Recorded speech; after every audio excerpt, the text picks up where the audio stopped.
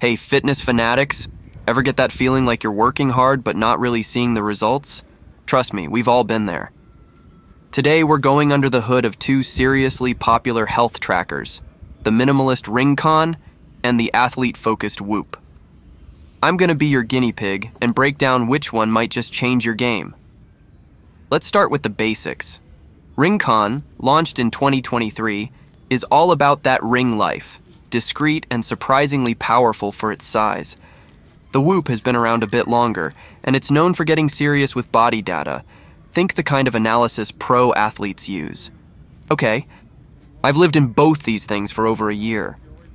Marathons, weightlifting, late night deadlines, you name it, they've seen it all. Links to my full reviews are down below so you can get nitty gritty, but let's dive into what really matters for you. Okay, they both handle the essentials sleep, activity, all that jazz, but how they use that data is where things get interesting. RingConn keeps it simple. Are you generally hitting your goals? Fantastic. Interested in your step count? No problem. Whoop, on the other hand, is like having a microscope on your body. Daily strain scores, heart rate variability trends, it's about pushing yourself safely and knowing when to throttle back. Let's talk comfort, because RingConn wins here, hands down. It practically disappears on your finger, which is huge if, like me, you fidget with bulky stuff.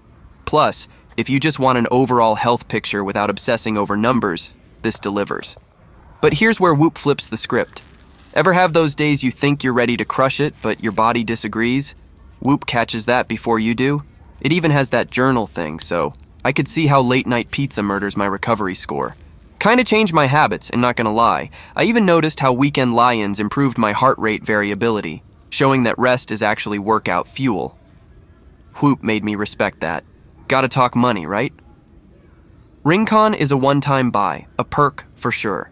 Whoop's got that monthly subscription, is the deep analysis worth that ongoing cost? That's the big question. Roughly, a year of Whoop equals the total cost of RingConn.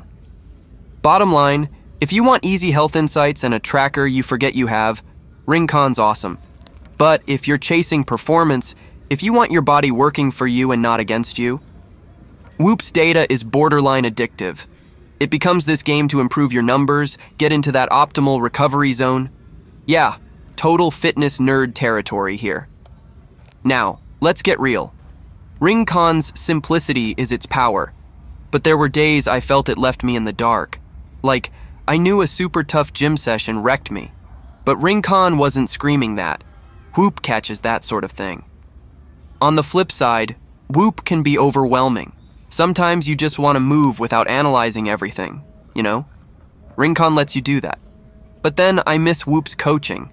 Like having a tiny trainer on your wrist, annoying but secretly good for you. In a perfect world, I'd use both, honestly. And I do. Casual days, RingConn lets me chill. Big training blocks, Whoop gets me dialed in, but wallets don't always agree. Let me know which one you're leaning toward comfort or crazy data. Remember, it's your fitness journey. These are just the tools to level up.